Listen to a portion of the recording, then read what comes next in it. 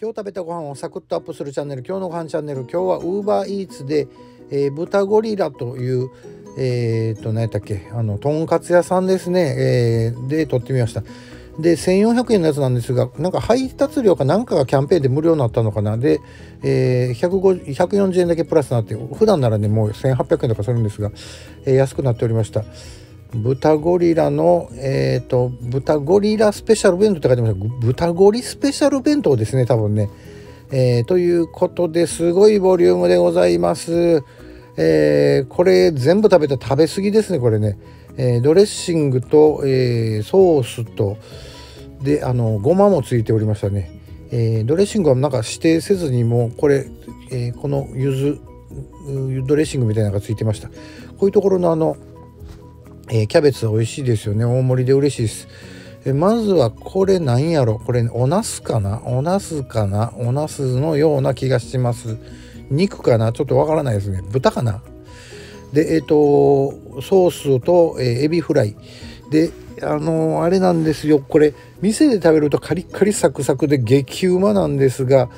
ちょっとあのパン粉が大きいのを使われているんでしょうね。あの大ぶりの。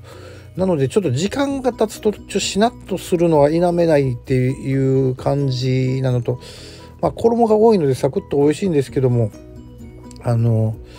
やっぱり店内で食べるのとまた店内で食べるように多分開発されてるんだろうなという感じは、えー、否めない感じではございましたがでもこのボリュームでこのうちでですねこの豚ゴリラさんが食べられるというのは素晴らしいですね。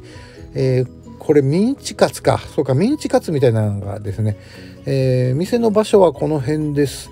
えー、あれかな丸太町の七本松ぐらいでしょうかね。えー、これでもね是非ね店に食べに行くのがおすすめだと思いますね。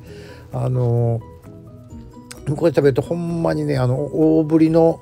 えー、パン粉がカリカリサクサクとしてそれがホロホロとなって、えー、非常に美味しいのでございます。え豚ゴリラさんでございました。